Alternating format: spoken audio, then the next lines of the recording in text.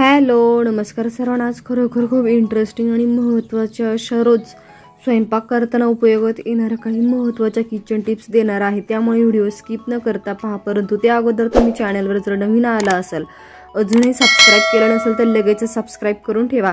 जेणेकरून मी नवनवीन video upload करत राहील तर त्याचं नोटिफिकेशन हे सर्वात अगोदर तुमच्यापर्यंत पोहोचेल. तर सर्वात पहिली महत्त्वाची किचन टिप्स म्हणजे शेवभाजी बनवताना त्यामध्ये थोडासा मॅगी मसाला पण टाका. भाजी चव भन्नाट लागते. दोन कोणतीही भाजी बनवताना आलं लसूणची पेस्ट ही वेगळीच तेलामध्ये परतावी. भाजी चवदार बनते. तीन मसाले भात बनवताना त्यामध्ये थोडासा पावभाजी मसाला पण टाका.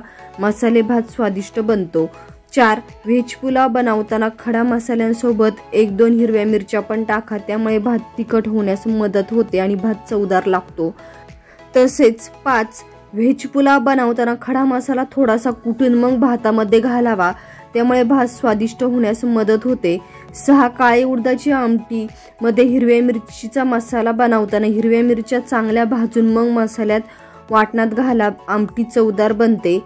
सात उडदाचा पापड भाजताना थोडासा तेल लावून भाजावा. उडदाचे पापड तळल्याची चव लागते. आठ भजे कुरकुरीत होण्यासाठी थोडासा सोडा टाकून सोड्यावरतीच लिंबू पिळावं आणि सर्व पीठ एकजीव कर मग भजे काढा.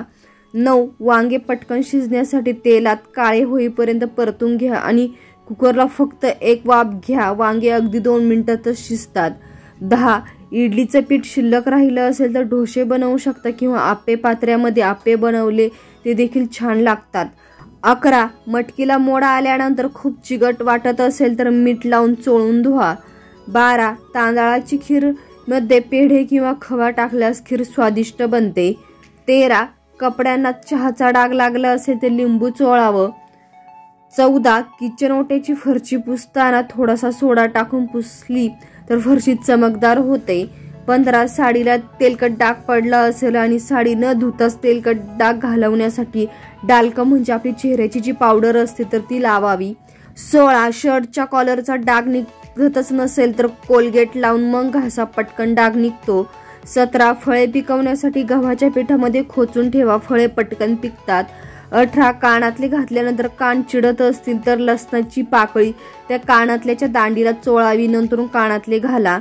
एकोणावीस कोथिंबीर सुकायला लागली असेल तर पाण्याच्या ग्लासमध्ये उभी करून ठेवा पुन्हा टवटवीत बनते. वीस तांब्याचे भांडे चमकदार होण्यासाठी विटकरीचा बारीक भुगा करून भांडे घासावे. आणि भांडे चमकदार होतात आणि त्याला डागही पडत नाहीत. तर मग ह्या होत्या आजच्या छोट्या छोट्या किचन टिप्स तुम्हाला कशा वाटल्या? कमेंट्स करून सांगायला बिलकुल विसरू नका. आणि हा व्हिडिओ थोडा जरी हेल्पफुल ठरला असेल तर एक लाईक करा. जास्तीत जास्त शेअर करा जेणेकरून माझ्या सर्व सुगरणींना याचा खूप मोठा फायदा होऊन जाणार आहे.